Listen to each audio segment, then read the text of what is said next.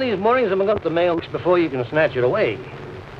As far as I'm concerned, you didn't even have to stop today. Your army captain don't write very regular, does he? It's been Eight days. that long? Well, I could have sworn it was only a week.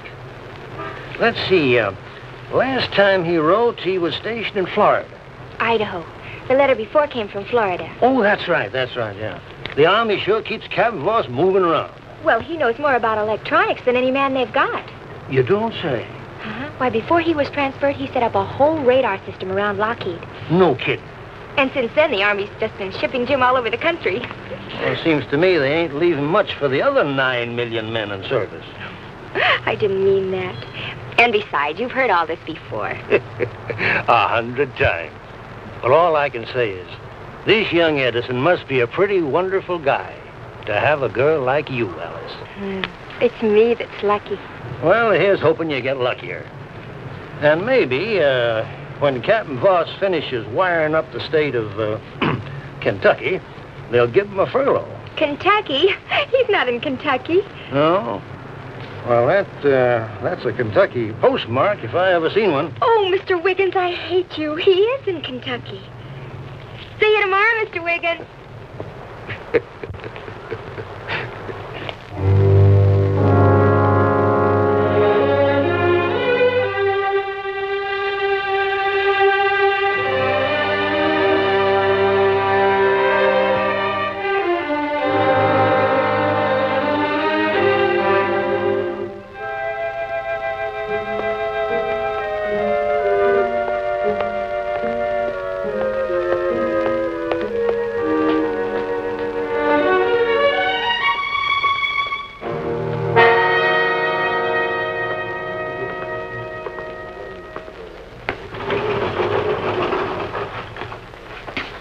feet, boss. We need some help. The metal detector's gone dead on us. There must be somebody else around here who can fix it. Why don't you guys give me a rest? Because your work's better. And the price fits the prison budget. Who says I can fix it? Well, if you can't, genius, we'd just better close up shop. Come on. Let's keep the warden happy.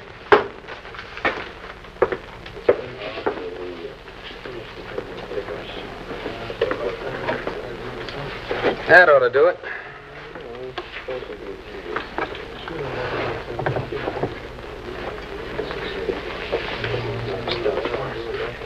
Try this wrench.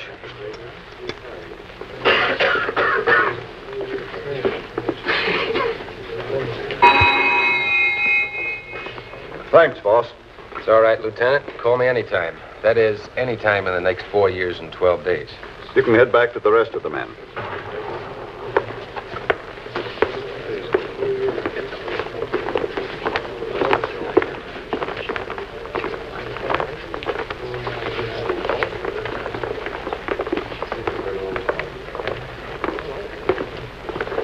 Hey, Joe.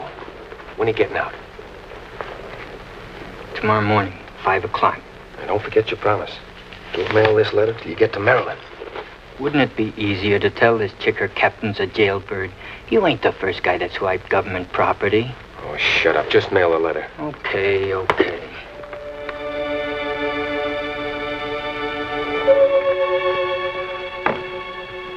What does Jim have to say, Alice? All the things I want him to say, Mother. That's nice. Anything about his coming home, dear? No. They've transferred him again. To Maryland. You'd think with the way they've been working him, they'd give him a furlough. From the way he writes, he doesn't even expect one. Not that he complains. So I guess I shouldn't. Mother! Alice! Did you hear? On the radio. They're talking about a bomb they just dropped in Japan. They think it'll end the war. This unprecedented and historic announcement of an atom bomb, a nuclear weapon releasing energies in unbelievable amounts, dwarfing by hundreds of times the force of conventional explosives. Fragmentary reports heard on the Tokyo radio hint of great devastation in the city of Hiroshima. the strategic target area selected by the Allied command for the awesome bomb's first use against the enemy. And it is more than barely possible, say reliable reports, that this new and fearfully destructive atomic weapon will bring Japan's warlords to their knees. Oh, Mom. Maybe this is the end of it. Maybe it'll bring Jim home. Honey, I hope so.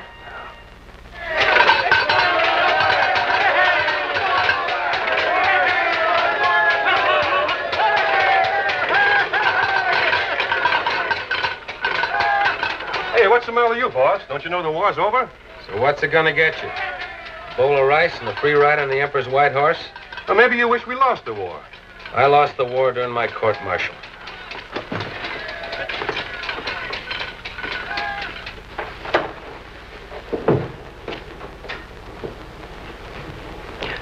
Hello, Jim. Chaplain?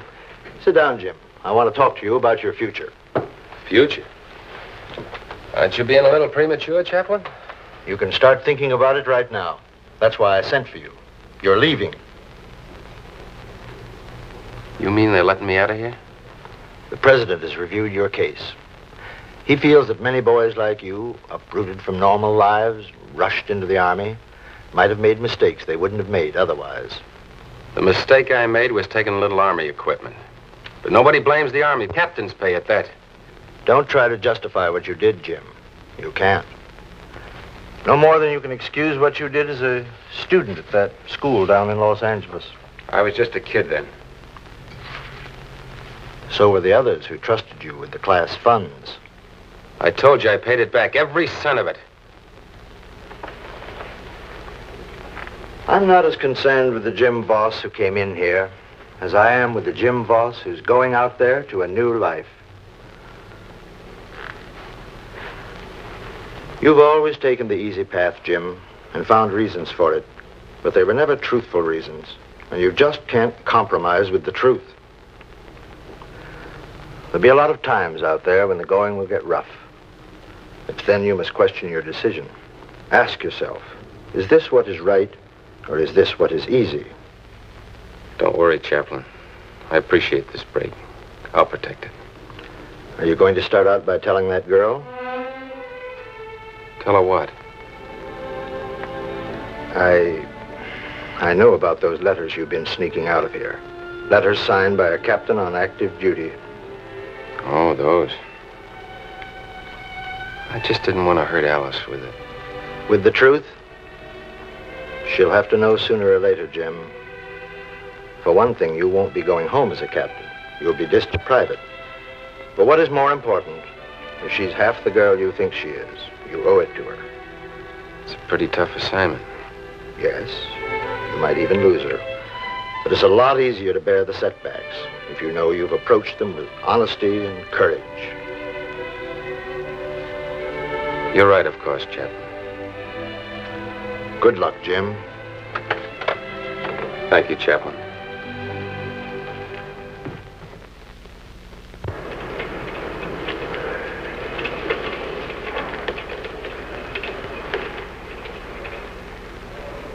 Yeah, yeah, it won't be too long. All right.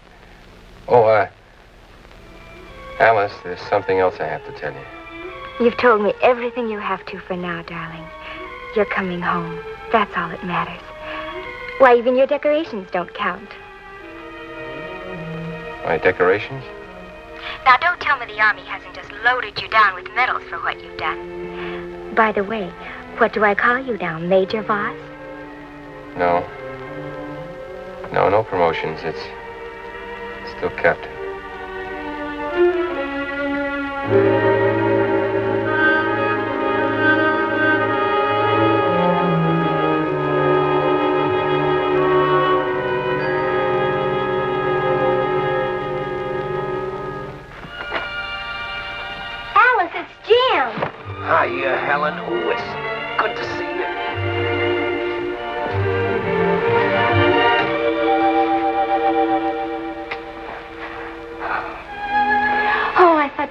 Thought get here. I had to fight a million other guys for train space. You're back. That's the important thing. Mrs. Park. Hello, Jim. Welcome home. Wow, look at all those medals. What are all those stars? They're, uh, battle stars, Helen. Alice never told us you were overseas. Where were you? What was it like? You didn't get wounded, did you? Give him a chance, Helen, one question at a time. What battle was this, Jim? Oh, for goodness sake, Helen, let him catch his breath. He'll be around for a while, you know. Yes. I'll be around for a long time.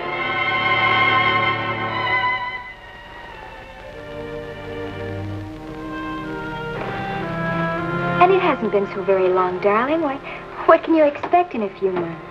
That seems like years. You can count the number of customers I've had on one hand. Look. Not enough business to pay the first month's rent. Better have a pretty good excuse for the landlord next month. I can help, Jim.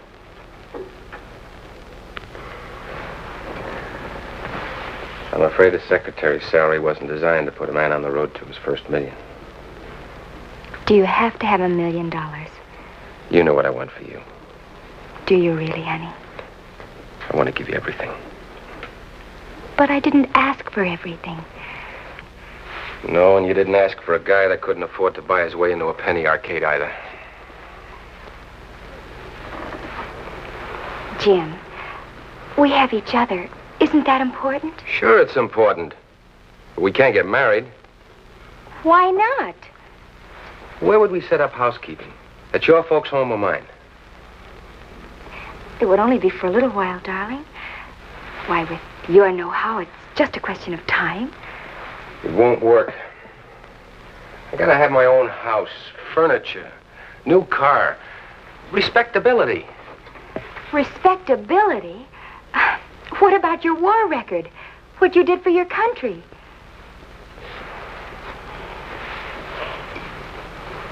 Jim, you do what you think is best. I'll see you later for dinner. Let's go to that little pizza place. Sure. It's about time I gave your mother a rest. Mm-hmm. Guy at the con drugstore said you used some business. what kind of business? It's radio. You tell that guy at the drugstore this isn't a radio repair shop. He already knows that, Buster, but he figures an engineer might do a better job. Oh, he could do a better job. Don't be so stuffy, Jim. You could do it as a favor for the gentleman. All right, let's have a look at it.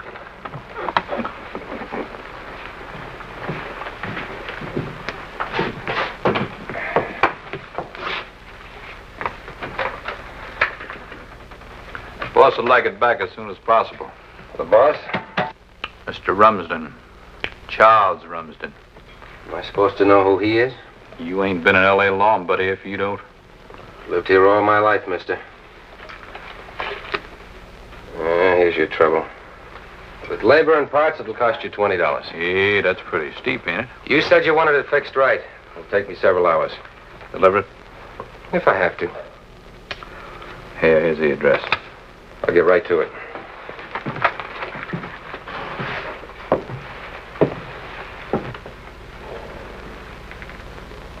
You're going to be busy, Jim, so I may as well get back to the office. Not too busy. It's already fixed.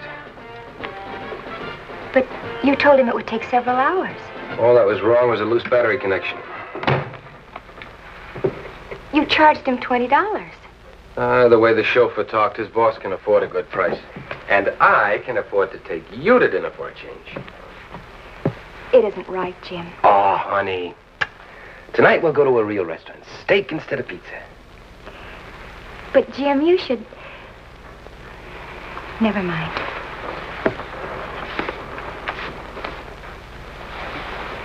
I'll meet you here at six. Okay.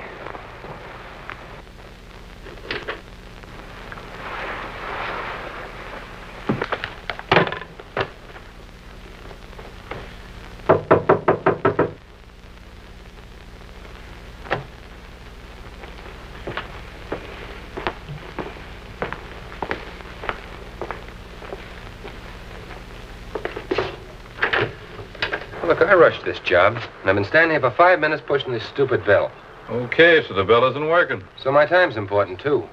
Relax. Come on in. I'll get your dough for you.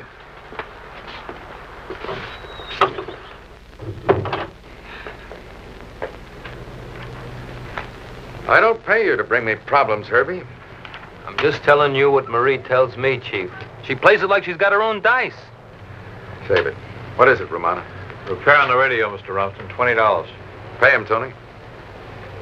Oh, Romano. Well, that electrician is still here. Have him find out why the front doorbell won't work. Well, he's not exactly an electrician, boss, but I'll see what I can do about it.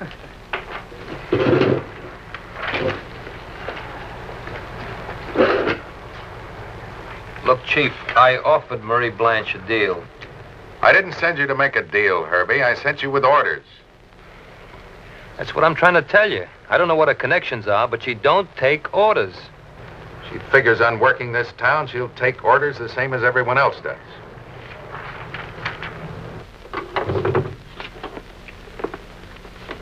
I don't know. Sometimes it works, sometimes it don't. Must be a short somewhere. I'd like to look at the wires under the house. Right over here.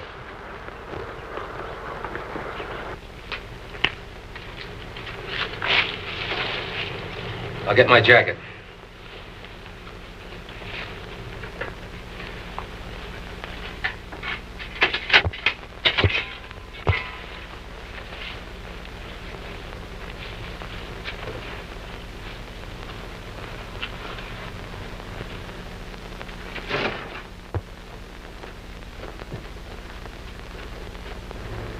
Let's not kid ourselves, Chief. Marie's a smart dame. It's a cinch the cops can't finger her. And every one of her girls that they picked up act like they never heard of her. She says she don't need us. She's got a good deal. You don't have to tell me. I know she's got a good deal. That's why I'm taking it over. It's not the way she figures it. That's the way I figure it. Where's Nick? Oh, I gave him the word. He should be here any minute. Yeah, he went to see a guy that opened a book in Burbank. The dope thinks he can run it by himself. Same as Marie.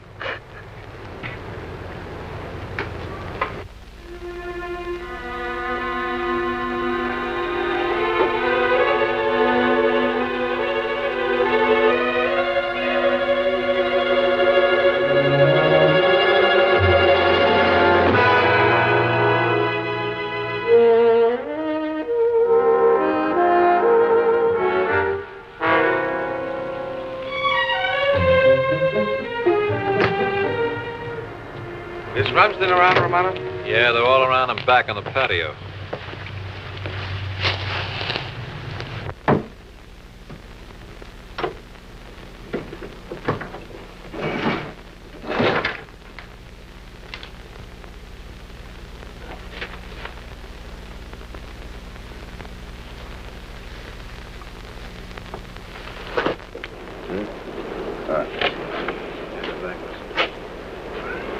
Well, what's so important about a doorbell that doesn't work?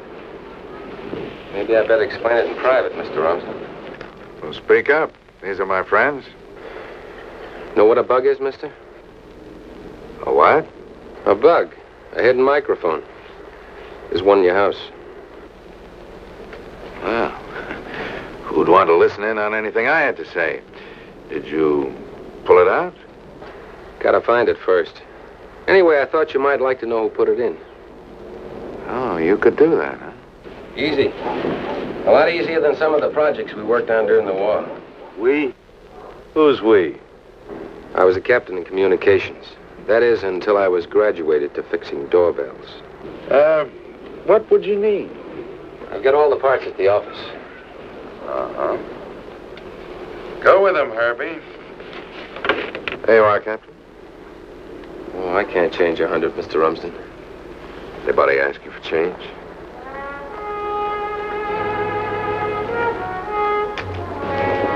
Sounds like a smart kid.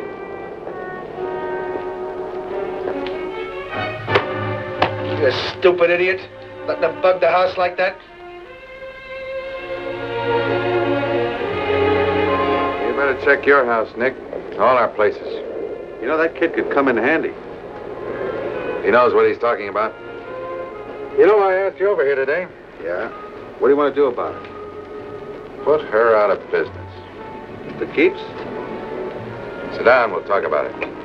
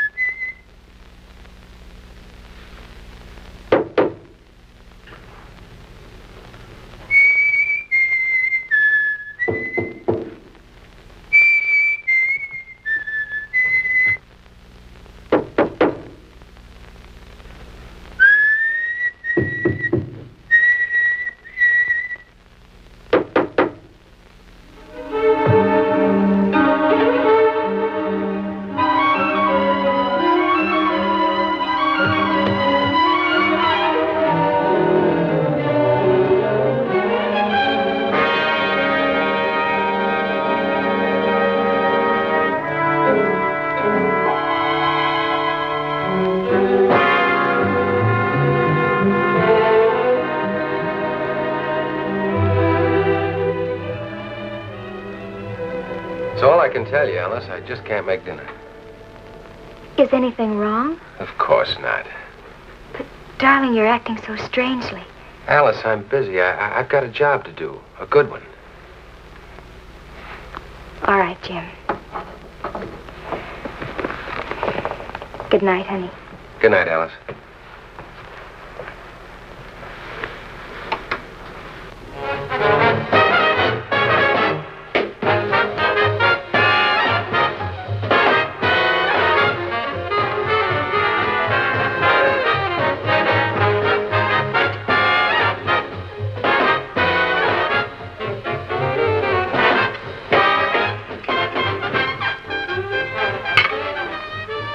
He's right. That'll drown out anything we might say. I hope he's right. That's the only bug they planted. You gotta see this to really believe it, Mr. Rumsden. Hold the dessert, Romano. All right, Herbie. Let's go see.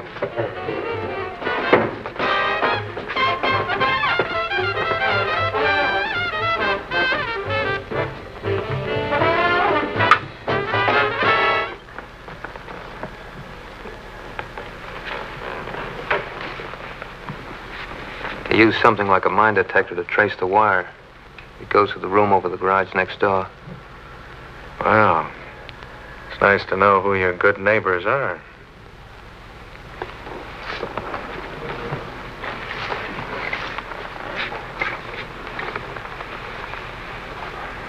The radio did the trick. They're beefing. They can't hear a word. Who's they? The police.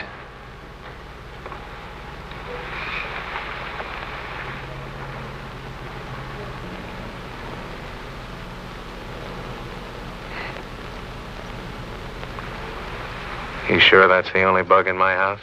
I've covered every inch of it. I'd like to talk to you. Come on in and have a drink. I don't uh, like to drink on an empty stomach. Come on.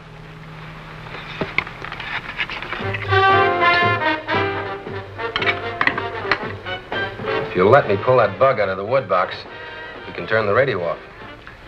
Tell me something, boss. Could you develop equipment to listen in on a telephone? That is, record a conversation without the owner knowing anything about it?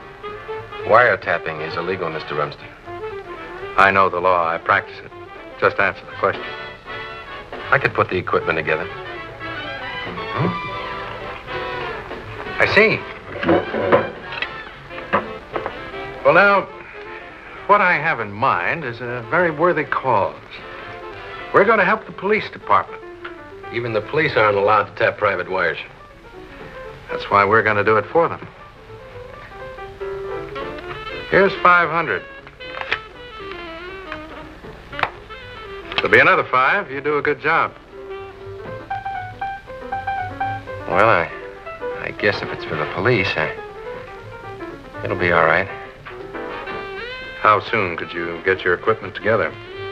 Well, I have to get the parts. A couple of days. Hmm? Go with him, Herbie. Well, let's go, chum.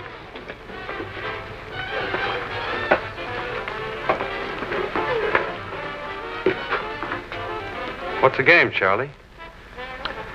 I think Marie is practically out of business.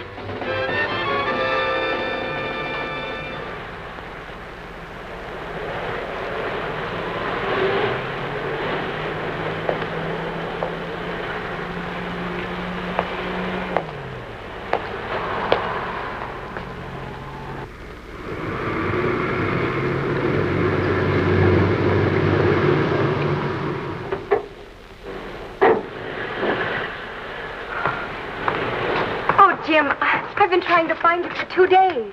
I told you over the phone I'd be busy, Alice. Busy with what? Now, will you stop worrying? I always worry about you, honey. I'm working on something. Can't you tell me about it?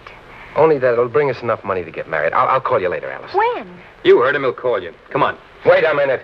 Please, Jim. It's all right. Call me when you can.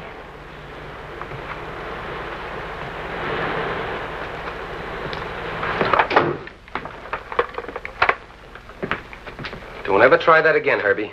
Rumsden's working. Wait a minute. Look, chum, Rumsden is paying for that minute and all the rest of your time. Now get your equipment together. We're late.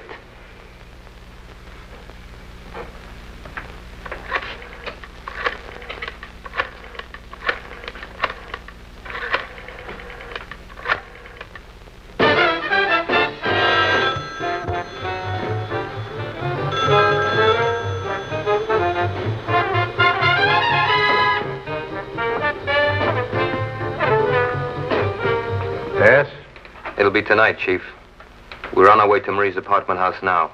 Right.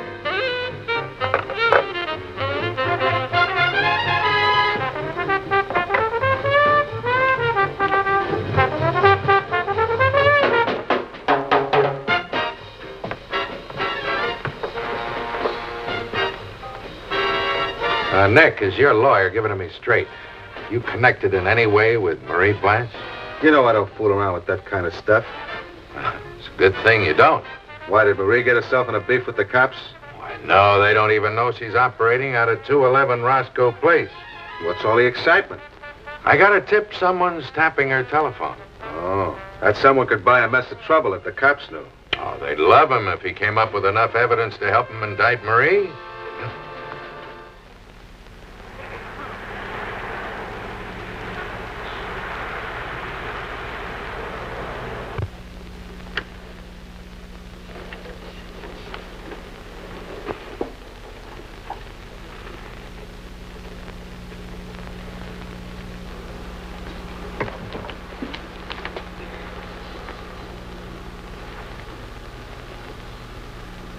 Getting anything? You better be getting plenty, Buster. Tapping private wires is a serious offense. I'll disconnect. Here, I'll take that. Can you record this? Who gave you this number? Why, uh, Mr. Fielding, our sales manager. Oh, yes. Well, we have some very nice books. The heroine in one is especially attractive. A brunette, about five foot three. Well, that sounds like very interesting reading. How about ten o'clock at the corner of Sunset and La Brea? There'll be a picture on the front cover. A girl in a mink coat. That'll be fine. Goodbye.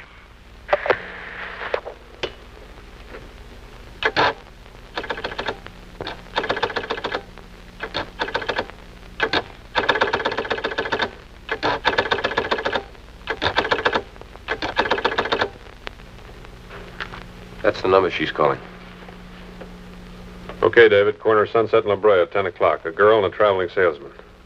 I'll take care of Marie. What's your name? Vaus. Jim Vaus.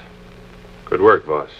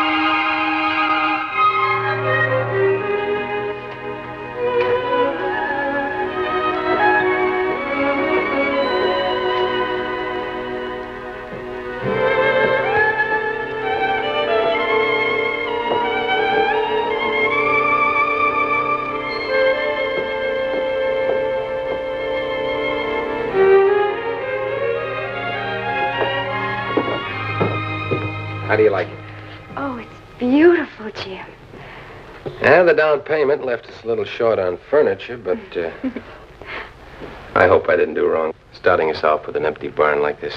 Empty. Why, darling, this house is so full of love that I don't know where we'd fit the furniture if we had it. Oh, we'll fit it in all right. This living room will be ankle deep in carpet, wall to wall. And, uh, let's see. That's where your sofa will be. A seven foot one. And there's your favorite chair next to the fire. And right opposite is yours, where I can sit and look at you all night. Think of the money we'll save. Just sitting and looking at each other. Oh, honey, we're going places, too. And to nothing but the best. I can just see the doorman now. Mr. Vaus's car. And there will be our little jalopy. Chauffeur driven, of course. It'll be a Cadillac. Well, of course, Jim. Uh, what I mean is, honey, I, I just want to grab the world for you and hand it to you on a silver platter. You're my whole world, darling. You're all I really want. Okay, Mrs. Vaus. Jim.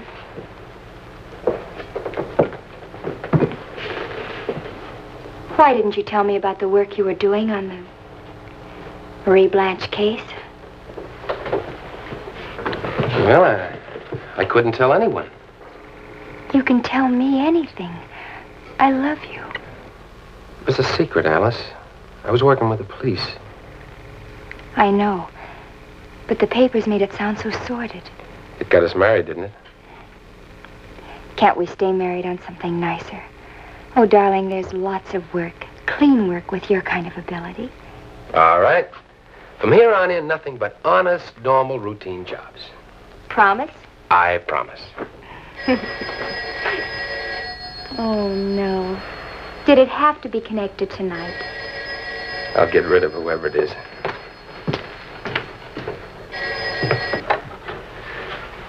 Hello? Oh, yes, Mr. Rumsden. Jim, I have a wedding gift for you. A very important assignment with a nice fat fee. Oh, I certainly can use it, sir. What kind of a job? A wiretapping job? Now, There's a certain politician down at City Hall that's giving a client of mine some trouble. Now, a good job of wiretapping, such as you did on Marie Blanche, would uh, put this politician in a rather awkward spot. You want to expose him, huh? No, not exactly. Not if he's smart. Let's say that the kind of recorded evidence that we want would uh, put my client in a very good bargaining position. Oh, no, wait a minute, Mr. Rumsden. Uh, this is not the kind of a job I. What was that? I said $2,000. I thought you'd be interested, Jim. I'll see you in my office tomorrow afternoon.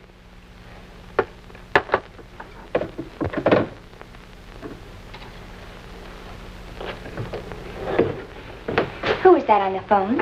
A van load of furniture, honey. Oh.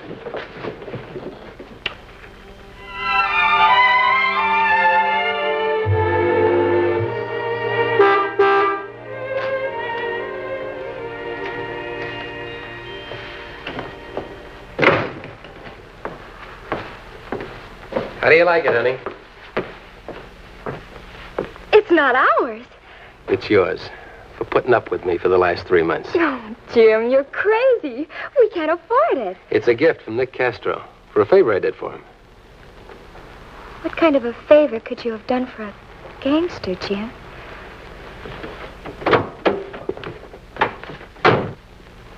Honey, I can't afford to ask my clients for references. But you said you were working with the police. I have been. How can you work with both police and crooks? Well, a pat on the back won't pay our bills.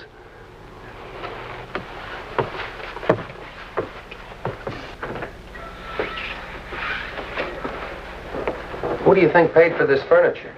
The police department? This house was more of a home when it was filled with you. I hardly see you anymore. But I have to be available when I'm needed. To hoodlums? You wouldn't if you'd kept your promise to me. My promise. Not to get mixed up with anything dirty after that Marie Blanche case. But there's nothing dirty about Charles Rumsden. He's one of the biggest attorneys in Los Angeles. He's responsible for every piece of furniture in this house. But I don't want to live with furniture. Wait, Alice. You're right. I have neglected you. I just can't go on this way. Everywhere I go, I have to give reasons why you're not with me. I'm sorry. I've even reached the point where I make excuses for you in advance. We'll do anything you say. Tonight is yours. I was planning on going to the church tonight. Our class is having a social. But I've already told him you won't be with me. Then we'll surprise him.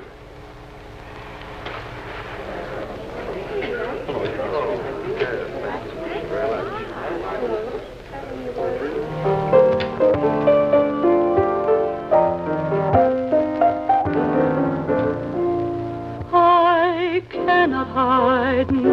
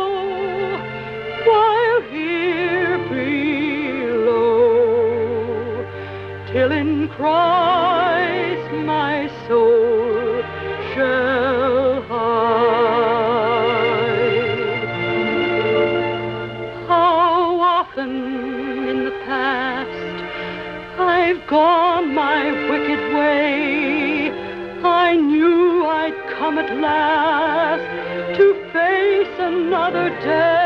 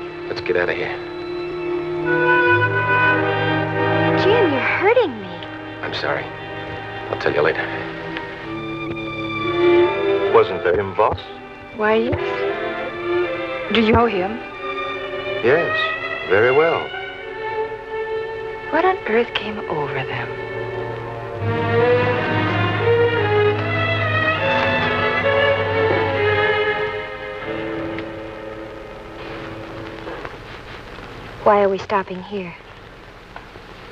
There's something I want to tell you. Can't you tell me at home? You may not want to go home when I'm finished. But before I tell you, Alice, there's something I want you to believe. I love you. And I never wanted you hurt, especially by me. Jim, what is it? Tell me. All the time you thought I... I was winning medals. I was serving a prison sentence for stealing government property. Stealing?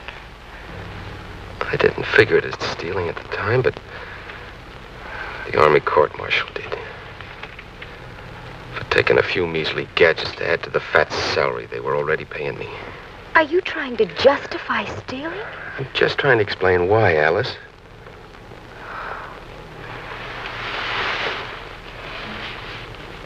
You waited long enough to tell me this. What made you decide to tell me tonight? The speaker, Miss Wilson, wanted me to meet tonight. It was the chaplain at the prison. Then you still wouldn't have told me if I told you, Alice, I didn't want to hurt you. all those letters, those important missions. Part of the same lie. I was afraid of losing you. You don't lose people who love you when you tell the truth. I wanted to tell you before I came home, Alice, but I couldn't. Now I realize the mistake I made. All right. The rest is up to you. Can you forgive me?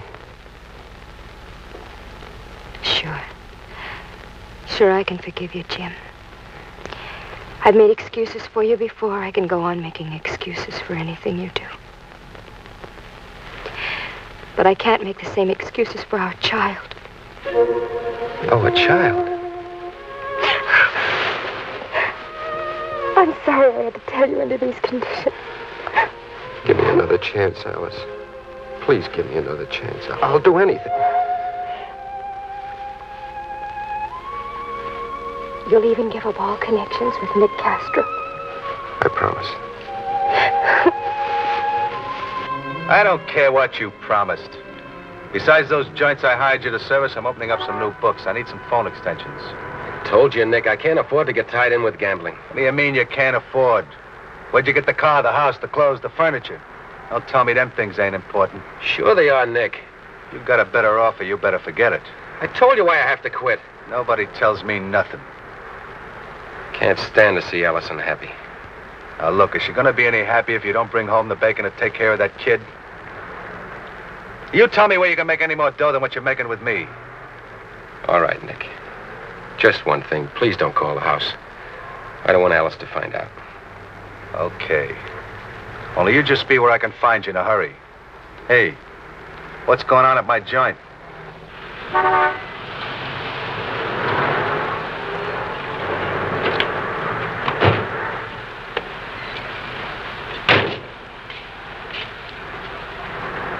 Thirty-four T. Request ambulance regarding shooting at 161 North Crescent Heights Drive. Over. Hey, what gives? It's a cinch we ain't gonna find out from little Joe Baggett. There's rumors you and him had a falling out, Nick. I don't know what you're talking about. He makes book, I make clothes.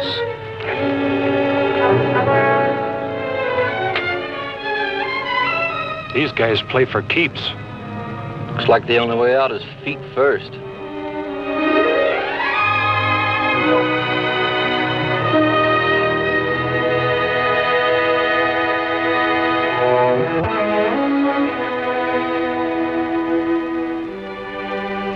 Hello, this is the city hospital. I'd like to speak to Mr. Vaus, please. Well, do you know where I could find him? I tried both those numbers. Well, thank you very much.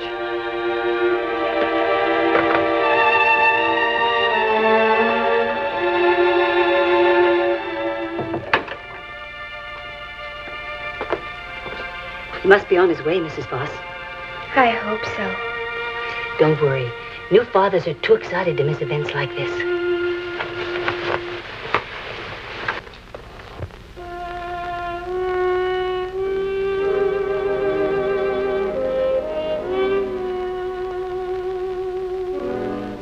Know, little Joe had a lot of friends crying at his funeral.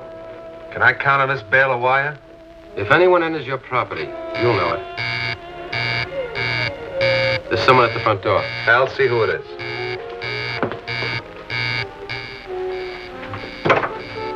Me, Charlie Rumsden. Evening, Al. They're in the den, Mr. Rumsden. Oh. Uh-huh. Well, you're just in time, Charlie. Oh, time for what? To help christen my radar screen. You know, this guy's got me guarded closer than Fort Knox. Well, so that's it. How does it work? You'll see in a minute. I sent some of the boys out to test it. You set off that alarm, Mr. Rumsden, when you came through the front gates. Now, that's Herbie coming over the west wall. what do you know about that? Oh, it's really very simple. Oh, sure. It's simple, all right, if you happen to be a genius. Now, that's Tony coming over the east wall. You see, Mr. Rumsden, wherever the circuit is broken, these lights register the exact position of the intruder. Let's have a drink on that, huh? All right, good idea.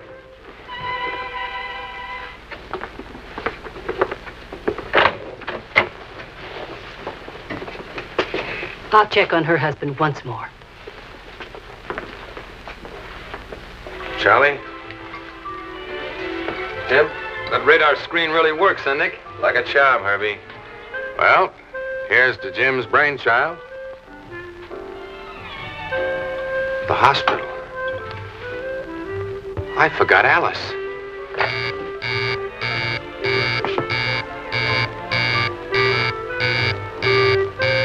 You've been monkeying with that thing? No, I didn't touch nothing. It's the east wall. You two guys case the garden. Al, come with me.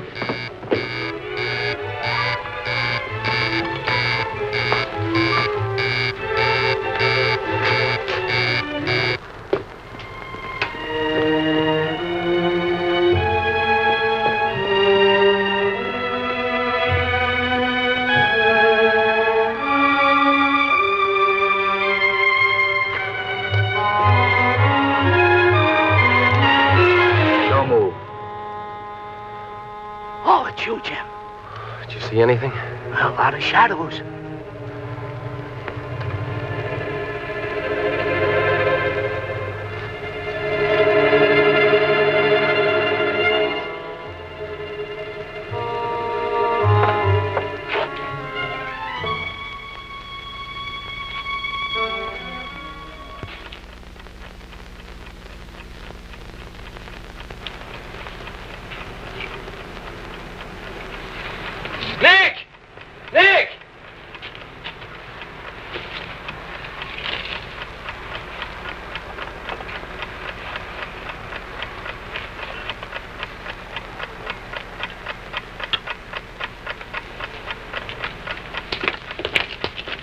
Visitor's calling card. The time bomb, huh? I'll try and kill it. You know how? I don't know. I have to figure it out. You might figure wrong. Got any idea what time it's set for? Who knows? Five minutes, five seconds. Five seconds.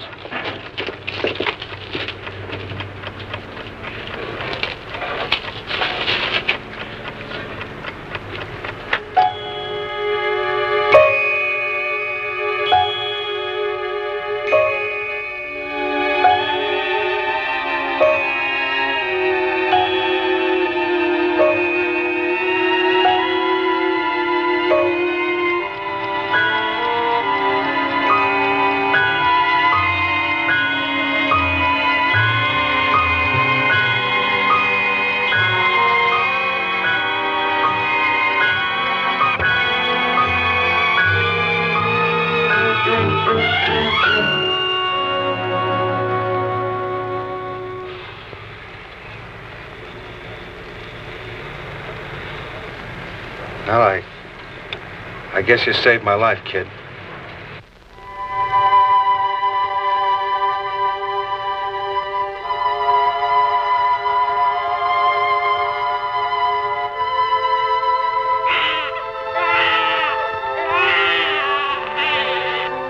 Five minutes ago. Well, I, I was detained uh, on business. Thanks, nurse. My daughter was born five minutes ago. Okay, so it wasn't a boy. I wasn't there. Look, the kid and liver know the difference. Tell you what I'll do with you. I'll give you a present for her. Got any dough saved? A little. Bet every cent you got on Grand Lady in the Fourth at Belmont tomorrow. Only don't bet with any of my books. The race is wired.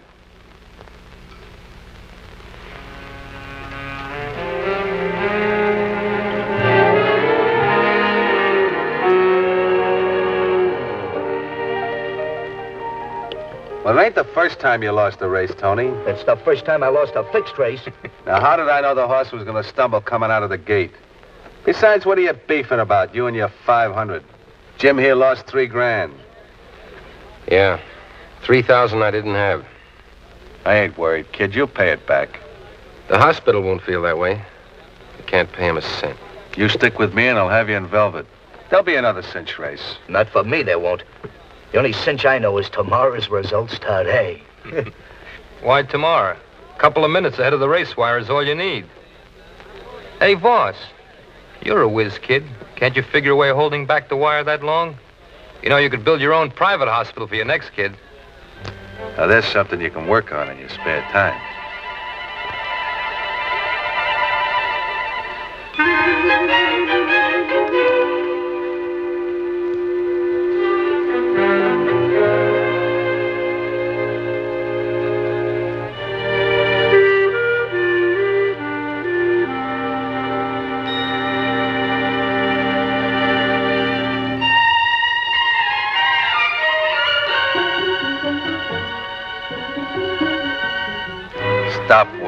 you?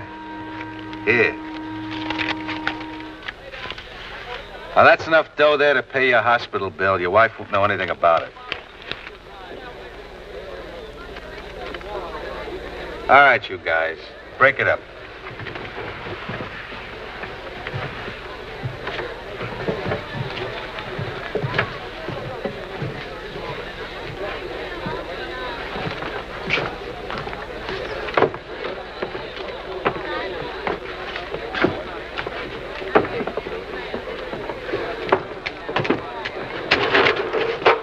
Hey, Jim. Come on, we got business.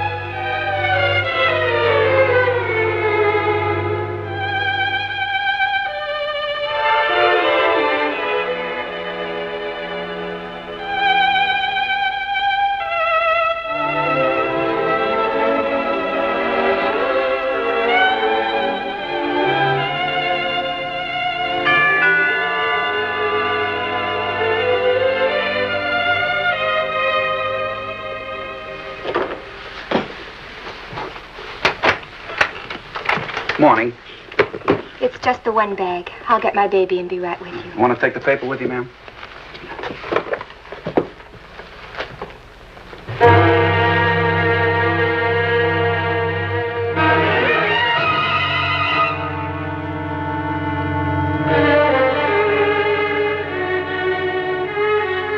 Driver.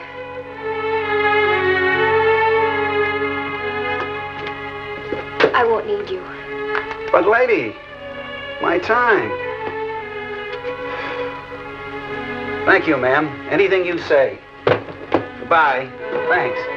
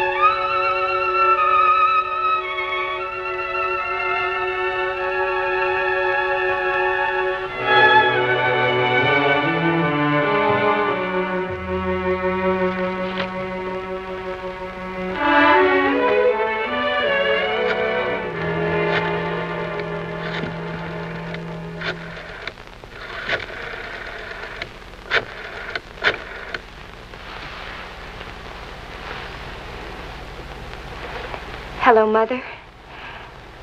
I'm not coming.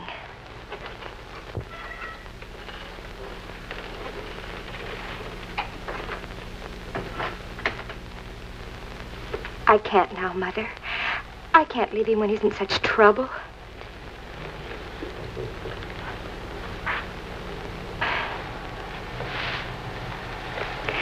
I know all that, but it doesn't matter. I still love him and he needs me. I can't help it. I do. I have to stay, Mother. I'll call you later.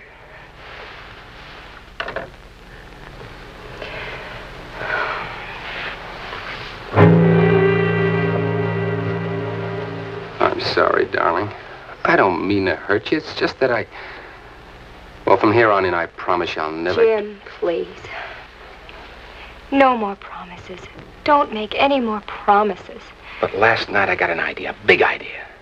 An idea as big as your heart. And how does Nick Castro fit into it? He doesn't. If he ever calls, I'm not in. Do you really mean it, Jim? Yes. But you're going to have to be patient with me. I've got to work out this idea. It may take me weeks, maybe months. But if it works, we'll be on Easy Street forever.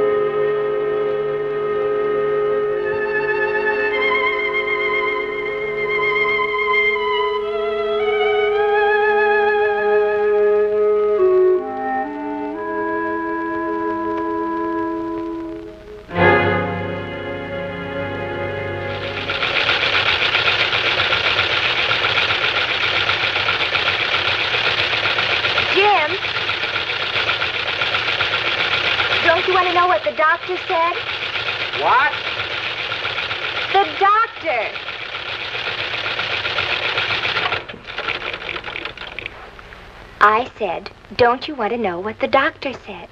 The doctor? What is it, Alice? You're going to be a father again. It's got to work. What? The machine, the teletype. I've got to make it work.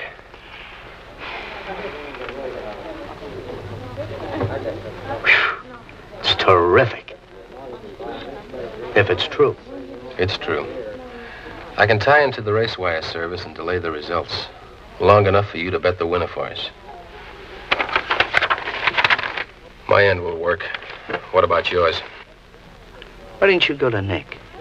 You know why. I haven't seen him for three months. I don't want any part of him. Except his money, huh?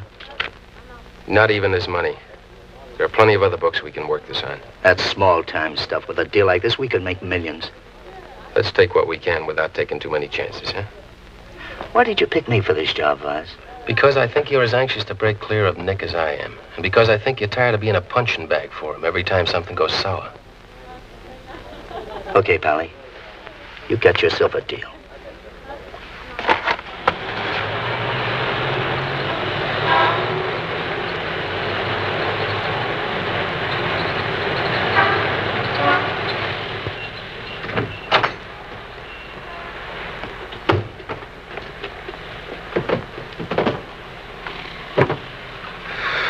Nobody can say you travel light. Get lost. Thanks.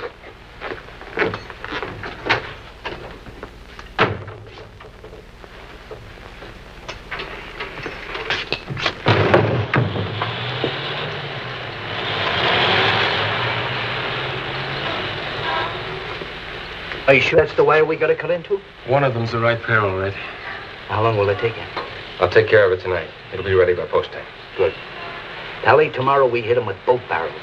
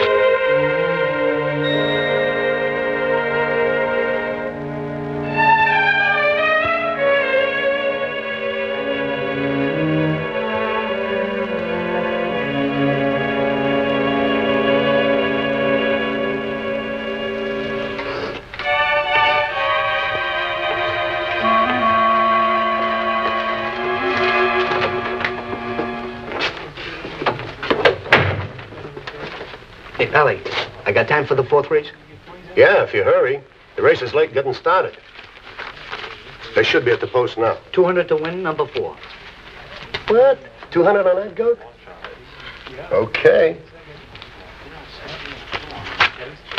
Thanks for the donation, pal. Oh, I only get 20 bucks.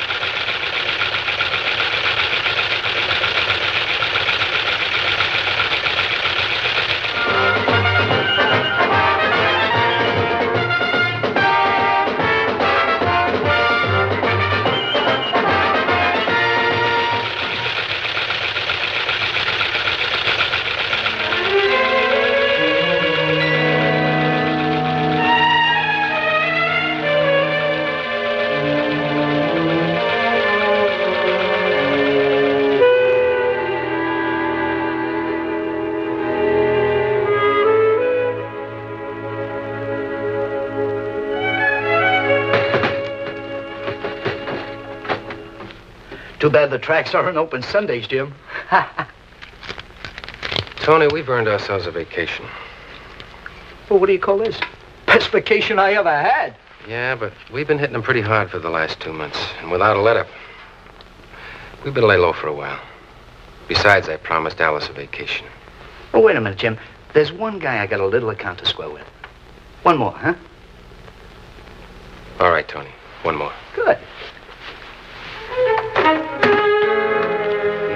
In under the wire on that race, buddy. That's the way it goes, Pally. What made you bet that nag? 20 to 1. I got a system. He's got a system.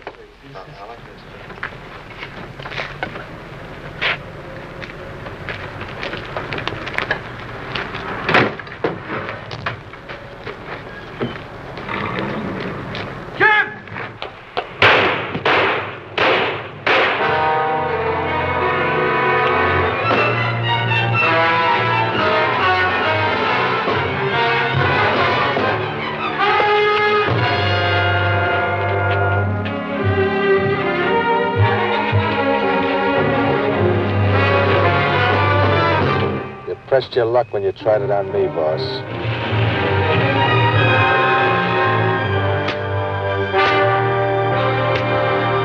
Okay. uh, That's enough for a while.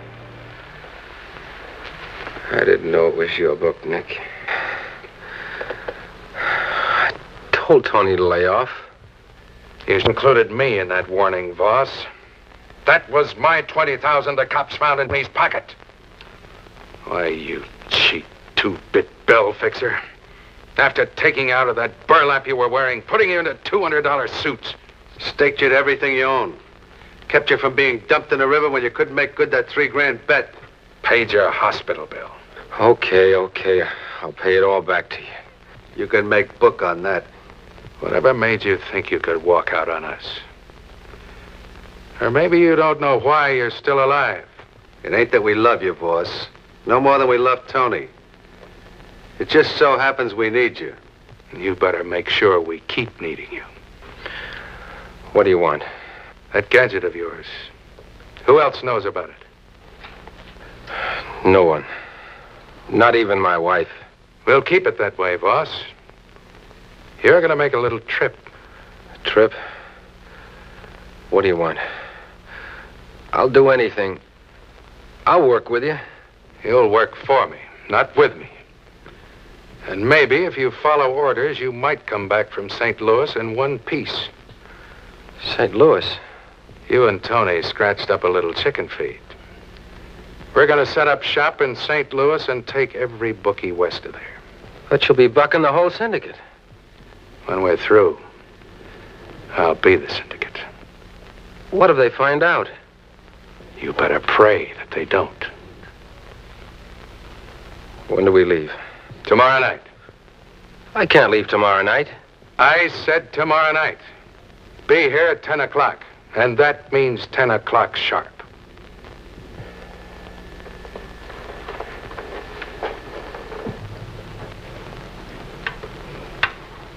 What?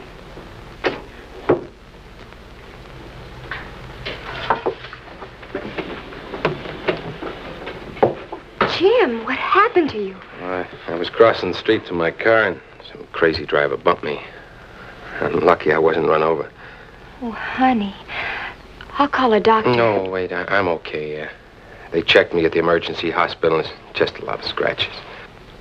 Then I'll call Mother and tell her not to pick up Madeline tonight. No, wait. But, Jim, the beach isn't going to be any vacation for you until you feel better. Look, honey, I. Our vacation will have to wait. Some business has come up.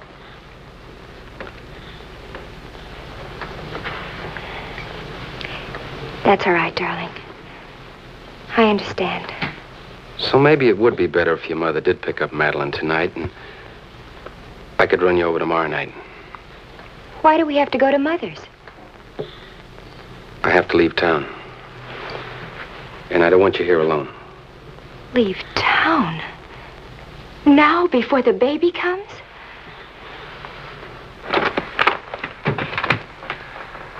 I know what you're thinking, honey. Seems I'm never around when you need me the most. This time I can't help it. You couldn't help it when Madeline was born. But I got a 10 o'clock appointment. I just can't put it off. I still don't know why I can't stay here in our own house. Honey, I told you I didn't want you alone. Everything's arranged. Your mother will take better care of you and Madeline than I can. But it's you I want with me. Don't make it more difficult. I'd give anything if I didn't have to go. Would you? Please get in the car.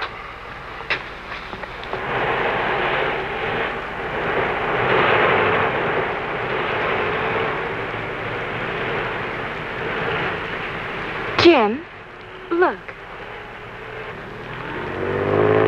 Let's go hear him. What? Please, Jim. You've got a couple of hours. But I want to see you settle before I go. There might not be much time. There may never be a better time. What do you mean by that? I can't explain it. I, I just have a feeling it's something I need. Something that will help me tonight. When you're gone. All right. We can't stay long. Jesus knew that they were following him because they'd seen him do great miracles. But that's not enough. Jesus demands more than that. Jesus demands repentance of sin. Jesus demands renouncing your sins and following him. And one of those people that said, We'd like to follow you was Nicodemus, a religious leader. But Jesus had said no even to Nicodemus. And Nicodemus came quietly to him one night and said, Master, I'd like to talk over this problem. I'd like to talk over my spiritual life. And Jesus turned to this religious leader and said, Nicodemus, except a man is born again, he cannot see the kingdom of heaven. Have you been born again? And Nicodemus was taken aback. Born again? He'd never even heard of being born again. Jesus said the only way to heaven is by the new birth. Well, what do you mean by the new birth, you say? Well, the Bible teaches, first of all, that you're a sinner. The Bible teaches that you've sinned against God. You've broken the laws of God. Every person in this tent tonight has broken the laws of Almighty God. What are the laws? The Ten Commandments. And the Bible says that any man that breaks the Ten Commandments is a sinner. And all the problems of the world tonight come from the fact that men are sinners. And all of your problems come from the fact that you're sinners. It's getting oh, late, there are many honey. People that think that they can live a life of sin and get away with it. You think that you can beat the game of sin. You think that sin pays off. But sin pays off in nothing except misery, heartache, disillusionment, inattention. The Bible says, What shall it profit a man if he gain the whole world and lose his own soul? Some of you, the devil has told you will give you a part of the world. You've gained a little bit of this world's goods. You've gained a little bit of popularity and notoriety, perhaps. But all of that, Jesus said, is nothing compared to losing your own soul. The Bible says the moment you die, that your soul goes out into eternity, banished from the presence of God forever. You're a sinner tonight, and you need to repent of your sin and give your heart to Christ. You say, well, Billy, I know I'm a sinner. I know I've sinned against God. I know that I've failed God. I know that I've done things I shouldn't do. But what can I do about it? I Jesus stand any more of this. Be born again. You say, we'll be born again. What do you mean by that? Afraid of? It means that you can actually become a part of God's life. You can have God's life in you. You can be forgiven of every sin. You can know that you're going to heaven. You can have peace and joy and rest in your heart by surrendering and giving your life and heart to Jesus Christ. You can be born again. Now, the moment you receive Christ as your Savior, the moment you open your heart and let Christ in, He comes in and makes you a new moral person. He just doesn't clean up the old person. He just doesn't whitewash the old barn. He makes you an entirely new creation. You become literally a brand new person by giving your heart and your life to Jesus Christ. It's an infusion of God's life into you. And then you say, well, Billy, how do I receive this new birth? How do I get it? Where can I find it? Come to Jesus Christ right now. Come to the foot of the cross. It was on the cross that he died for your sins. It was at the cross that God made reconciliation with man. And at the cross, you can find forgiveness of your sin. You can find peace and joy and salvation by coming to the foot of the cross. You say, what'll it cost? It'll cost you your sins. You'll have to give up your sins. You have to renounce them. I don't find a verse of Scripture anywhere in the Bible where it says that you can live any kind of life you want to and be a Christian. You have to renounce sins. That's what repentance means. It means to turn from sins, to acknowledge your sins. And then by faith you open your heart and let Jesus Christ come in. By faith you receive him as your own personal Savior. And the moment you do it, he forgives every sin you've ever committed. You become born again.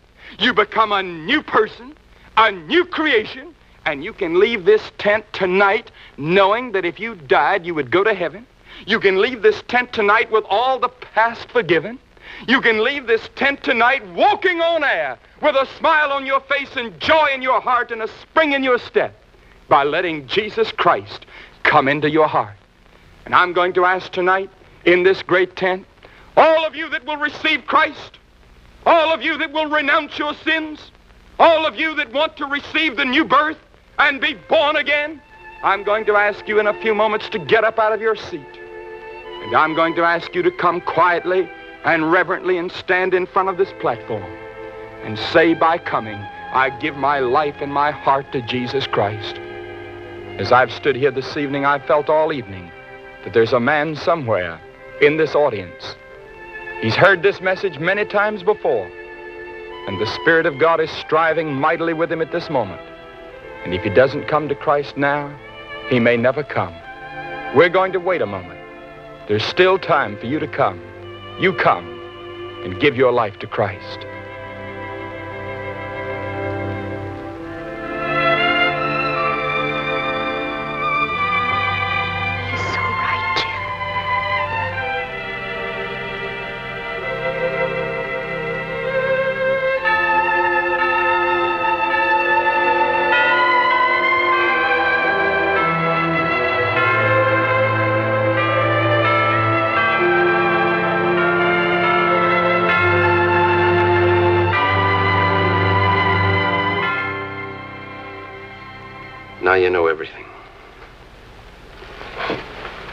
Everything I left out about my time in prison.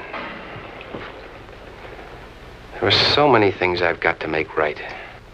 We will, Jim. We? It's still our life, darling. Before I can expect you to share this part of my life with me, I want you to realize what it's going to mean. The price we might have to pay may mean giving up the house, the furniture, the car, everything we possess. We'll start all over. Together. I'm trying to tell you, Alice, it may not be together. There are laws about these things. Laws I've broken. Prison. I'm more afraid of what Rumsden and his mob might do to you. Oh, Jim. I think I'm scared.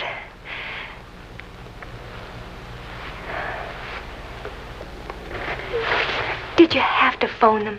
We could have been miles away by now. I'm through running away, Alice. I've been doing that my whole life. Sure, I could run away from them. But I can't keep on running away from myself. Something happened to me tonight in that tent. For the first time in my life, I'm willing to face the music. To play it straight. It's a wonderful, clean feeling.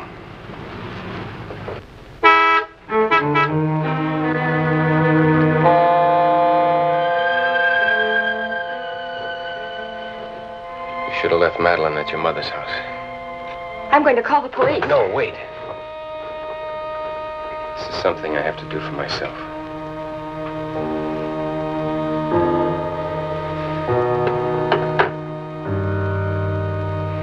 What, you?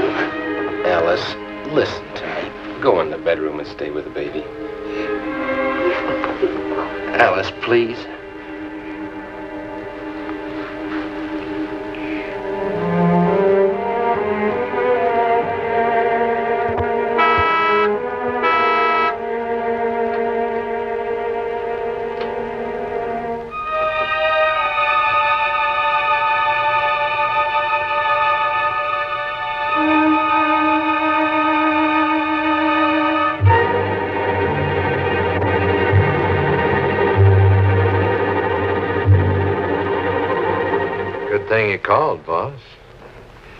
Was beginning to think maybe you'd run out on us. I'm through running, Mr. Rumsden. All right, then come on, let's go. I guess you didn't understand my phone call. I'm not going to St. Louis. I'm not going anywhere with you. We're late, boss. I'm in no mood for jokes. I was never more serious in my life. I don't know how good I'll be at explaining this. It's all so new. But you see, tonight I, I heard a minister preach a sermon. What is this? What are you giving us? Don't be frightened, darling. Everything's going to be all right. You expect us to swallow that slop? Okay. So the preacher slips you a few dollars to make a headline. Wiretapper Vaus hit Sawdust Trail. All right, it gets a few more suckers down on their knees in his tent tomorrow night, but tonight you and I have got plane tickets for St. Louis. You have. Not me. Look, I don't know this Graham character, what kind of magic he uses, but I do know it's not healthy for you. I'm trying to make you understand. Do you think we'd let you walk out on us? I've already walked out. And if there's a price to pay, I'm going to have to pay it. You're not talking sense. They'll throw the book at you. You'll spend the rest of your life in jail. If those bookies you clipped don't get you first, maybe you should remember what happened to Tony. We're giving you a choice, boss. The same trip Tony took, or the one you can still make with me. The Jim Vaus you gave that choice to is already dead. He died tonight in the tent. Somebody else was born. A guy no longer interested in a fast buck, the shady deal. It's all tied up with a lot of words like repentance, forgiveness. That the way you want it, boss? It's not what I want. It's what I must do. It's not just you, Rumsden, or you, Nick, that I have to straighten myself out with. You're at the bottom of a long list of people I have to square myself with. I'll straighten you out right now. You leave him alone.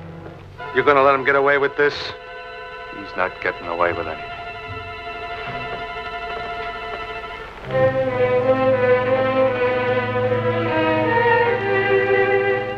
Not here. Come on. I'm gonna take care of this now, Charlie. Nick, I said, come on.